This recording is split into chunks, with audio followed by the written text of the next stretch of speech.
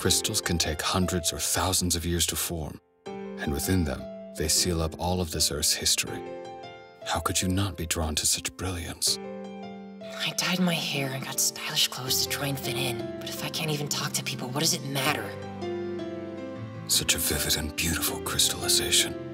Nobody else thinks it's pretty. That's why I like you so much. Is it really so hard to be with the other students? I mean, really, I relate more to you than I do to them. Don't try and use me as some kind of substitute for not having friends. I'm just a crystal. I got held back. I'm depressed. Who could be friends with someone like that? You don't have to push yourself so hard. And just be yourself, okay? Before you get hurt. You secretly a romantic? What? No.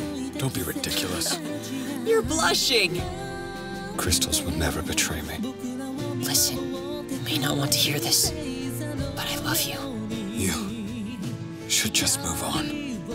What?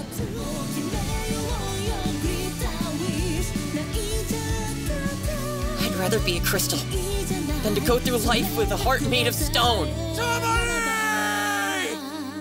育てよう僕らだけの奇跡